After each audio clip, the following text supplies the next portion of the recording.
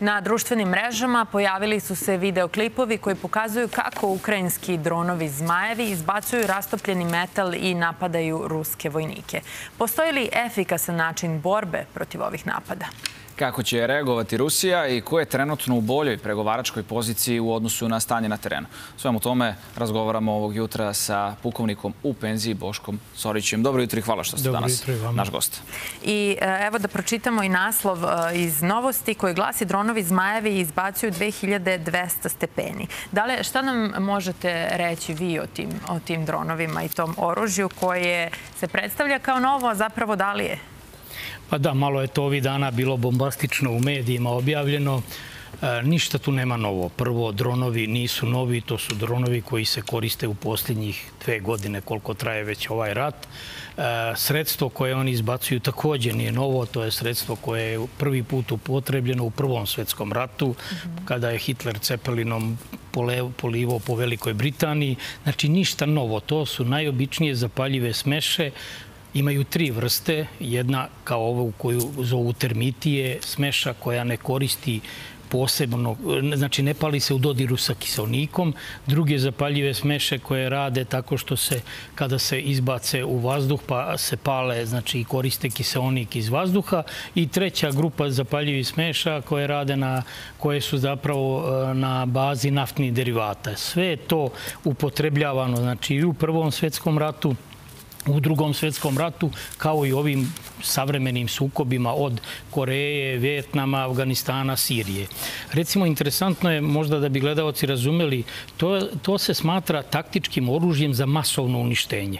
Recimo, u drugom svetskom ratu od ukupnog broja porušenih zgrada na tlu Evrope 75% je stradalo u požarima. Znači, upravo korišćenjem ovih zapaljivi smeša. Ili, drugi podatak, od milijon i osamsto zapaljivi e, bombi koje su bačene na bivši Sovjetski savez, milion bombi su bile zapaljive bombe. E sada, to znači da ovo može da na neki način promeni tog rata? To je pitanje za vas. A evo u Informeru danas pišu da je analitičar odbrambene industrije, bivši oficir britanske vojske, Nikolas Dramond, nama verujem da je svakako ne toliko poznat, za CNN, za CNN je rekao da Ukrajina verovatno posjeduje samo ograničeni kontingent ovih termit bombi i da ne bi trebalo da utiče na, na, na dalji tok rata. Kako je vaše mišljenje? Pa gledajte, prvo ne može da promeni tok rata, jer to nije to su bombe otprilike na ovim dronovima, to su rezervari otprilike 2 do 4 kilograma koji se kače, dok na savremenim lovcima, bombarderima, te bombe mogu da budu od 200 pa do 600 kilograma. A ono što ste pomenjali u Prvom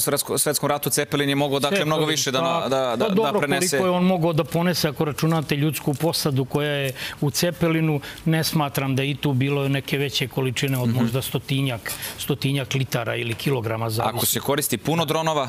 E, kad se porim, pazite, e, rekli smo, znači, to je oružje za masovno uništenje, jer kad se polije po jedinici, sigurno da će biti veliki gubici.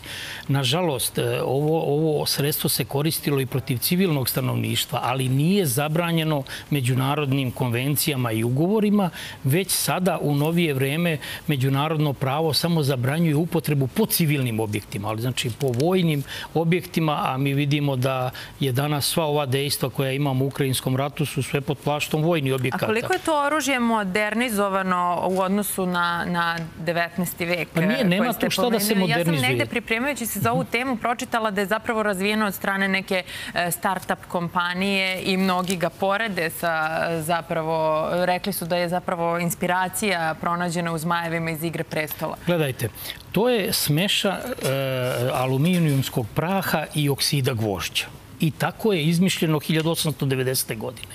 I njegova je namena bila za varenje šina. Pošto kod sagorevanja on ne stvara plamen. Ovoj smešje dodate su još na bazi recimo belog fosfora jedinjenja koja stvaraju plamen, razvijaju temperature do 3000 stepeni Celzijusa. I videli ste na snimcima, e, juče barem je to bilo aktuelno, kada baca se po šumi, šta je cilj? Cilj je da se spali šuma, odnosno da jedinice koje su maskirane u šumi i ukopane, da im se skloni zaštita, i plus, ako poklopite po vatrenom položaju, ako padne znači, na municiju, može čak da otopi, ono topi metal, može da otopi e, oklop, ako nije, pogotovo ako nisu svi oni lučni otvori zatvoreni, pa to uđe. Šta bi bio odgovor ruske, ruske vojske na ovo?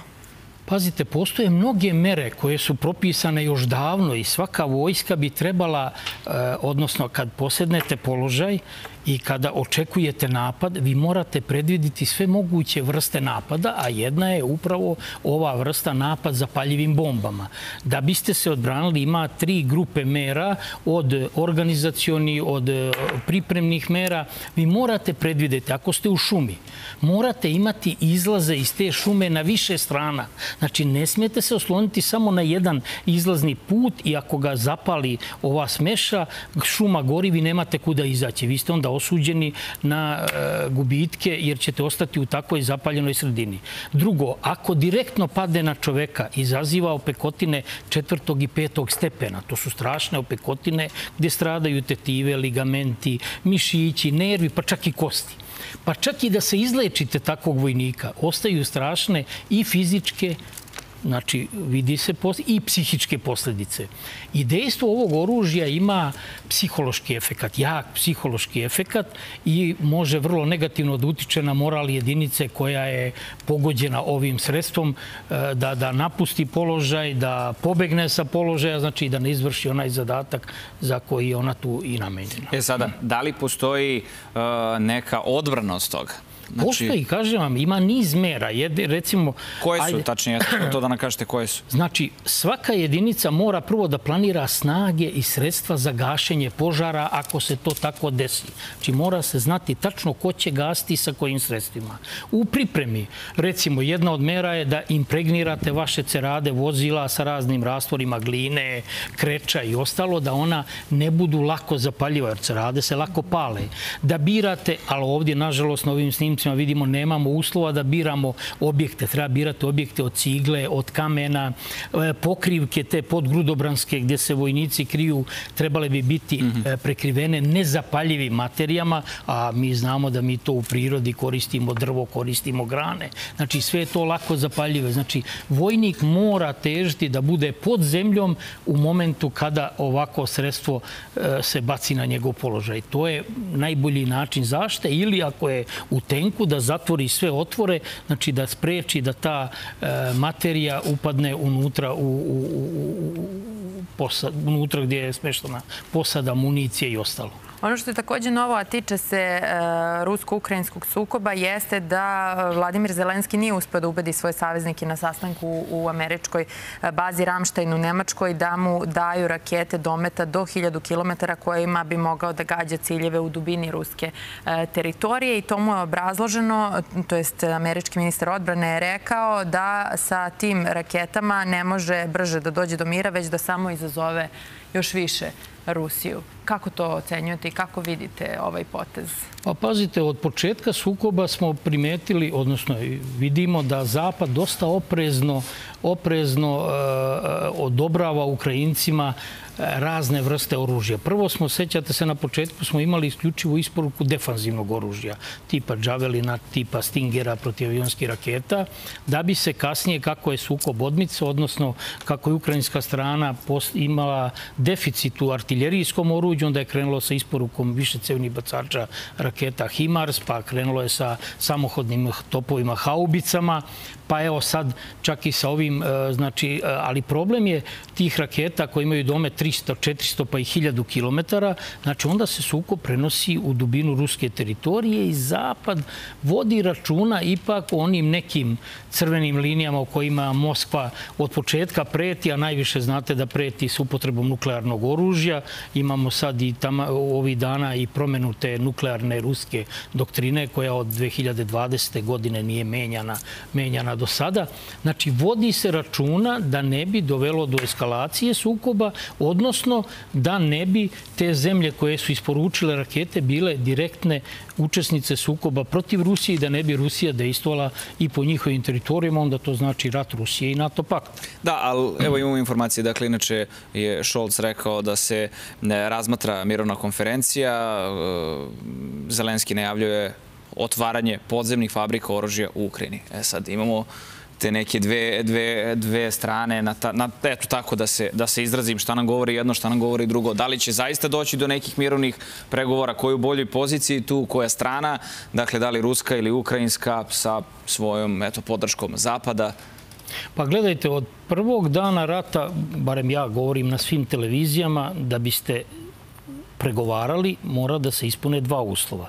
Da je neko ostvario svoje ciljeve, odnosno pobedio, pa je onaj drugi poražen i prisiljen da pregovara, ili je taka situacija da obe strane imaju adute za pregovore, da se proglase pobednicima i da niko nije izgubio.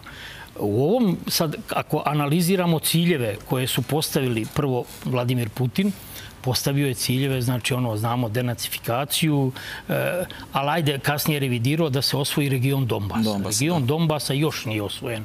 Neke su procene ovi instituta koji prate ovaj rat mnogo detaljnije, imaju više podataka, da bi se u potpunosti osvojio region Donbasa sa ovim tempom kako se posljednjih godinu dana ratuje, treba još dve do tri godine. Znači, Rusija nije ostvarila svoje ciljeve u potpunosti. Zelenski je postavio za cilj da nema ruske vojske na njegovoj teritoriji u granicama od 91. Što ne može 20% ukrajinske teritorije danas kontroliše Ruska federacija. Tako da, o čemu da se... To znači do daljeg ovako i bez ikakvog pa pomaka. Upravo tako. I to stalno upumpavanje novog oružja, sve većeg dometa, rasplamsava sukob. Videli ste i ovaj sad upad u Kursku oblast. Tamo je bila počela ozbiljna priča o nekakvim mirovnim pregovorima i otprilike se nešto naslućivalo da bi mogli se svi proglasiti obe strane pobednicima, da se prizna faktičko stanje, pa da vidimo šta će poslije 10-15 godina, znači da se zamrzne sukob. E, upadom u ukrajinske vojske u Kursku oblast, sad Rusija kaže nema ništa od pregovora, jer su ukrajinska vojska. Tako da ja sam skeptik da ovo može skoro da se završi. Mislim da ovo određenim stranama odgovara da potraja, zna se kome, onaj ko zarađuje na prodaju oružja, to je vojno-industrijski kompleks Zapada, njemu ovo odgovara da rat potraje, jer vidimo da Evropa ispraznila sve svoje rezerve što je imala od bivšeg istočnog bloka oružja. Sad svi naručuju novo oružje, jagma je za oružjem, fabrike ne mogu da proizvode toliko koliko se traži, tako da to u naredni deset godina ćemo se samo naoružavati. I vidimo koliki su budžeti evropskih država planirani za naredni pet godina. To znači da će naredni deset godina da traje ovaj sukob? Pa upravo, pa pazite, ako imate neke evropske... I još jedno pitanje, izvinjavam se, gospodine Zoriću, eto, eto, i to da nam kažete, koliko i dođe do sad nekog mirovnog sporazuma?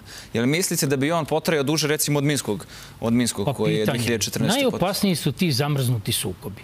A imate i po svetu mnogo. Da nema pobednika. Nema, da nije rešen mirovnim pregovorima, nije rešeno stanje, nije uspostavljen trajni mir, već se to stavilo pod led i čeka se opet neko vreme kada bude nekome odgovaralo da mhm. ponovo aktivira. Vi imate danas u svetu ja sam negdje u jednoj emisiji spominjao, čini mi se 29 zamrznutih sukoba.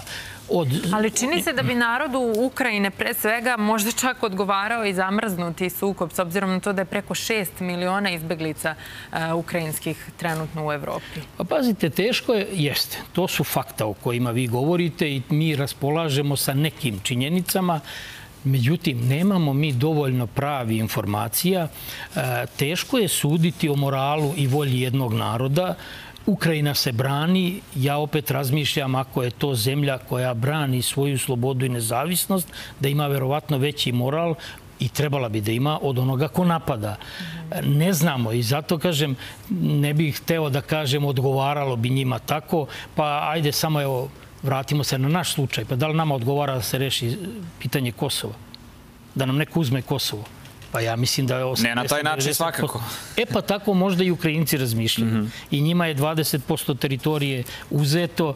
Da li to odgovara? Normalno, svakom je cilj da rat stane.